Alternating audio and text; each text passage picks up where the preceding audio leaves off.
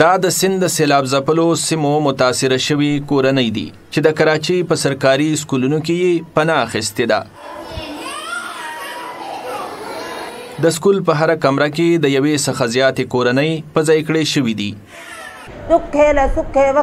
مونږ دلته راغلي یو، غم دی راباندې او ارام مو هم نشته. د نورو خلکو په ځایونو کې راته اندېښنه ده، ځکه چې ځوانې جینکۍ راسره دي. هلکان خو کولای شي چې هر چېرې لاړ شي، خو پېغلې جینکۍ به چېرته ځي؟ د سند حکومت په وینا، د صوبې په دېرشتو ضلعو کې د پشکال بارانونو او سیلاب له کبله په لسګونو زره کورونه نړیدلي دي تر اوسه په صوبه کې څلور دیرش لاکه خلک بې کوره شوي دي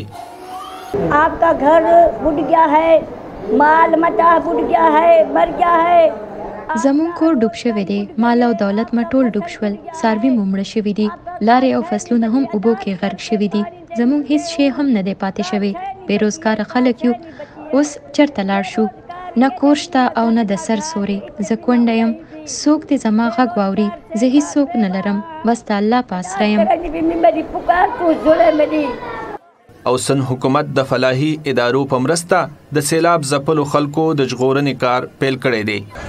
پي ډي ایم اې په وینا په سند کې بارانونو او سیلاب کې تر اوسه د دریو سوو څخه زیات کسان مړه شوي دي چې یو نیم سل پکې ماشومان او پنځوس پکې ښځې دي